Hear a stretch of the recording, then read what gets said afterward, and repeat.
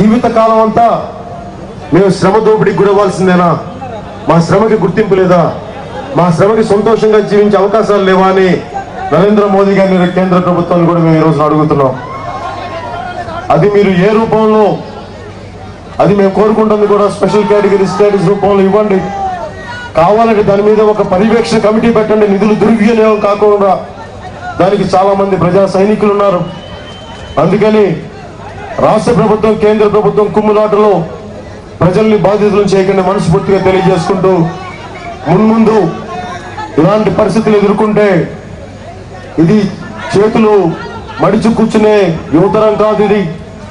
కొత్త తరం ఇది కొత్త రకంగా సమాధానం చెప్తాం మేము.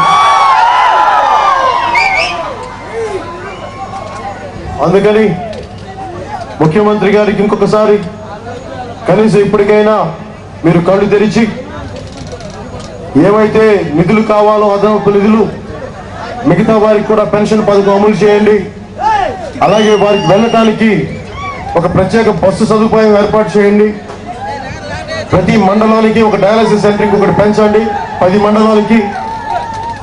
అలాగే బ్లడ్ బ్యాంక్ కూడా కావాల్సి ఉంది బ్లడ్ బ్యాంక్ మళ్ళీ వేరే చోటకి వెళ్ళాల్సి వస్తుంది వంద కిలోమీటర్లకి. అందుకని దయచేసి ఈ ఉన్న లోపాలు సవరించుకోండి. ప్రజలు మీకు అండగా నిలబడితే అంతకుమించి సంతోషం. నాకు ప్రజలు బాగే తప్ప జనసేన బాగా నాకు ప్రజలు బాగే జనసేన.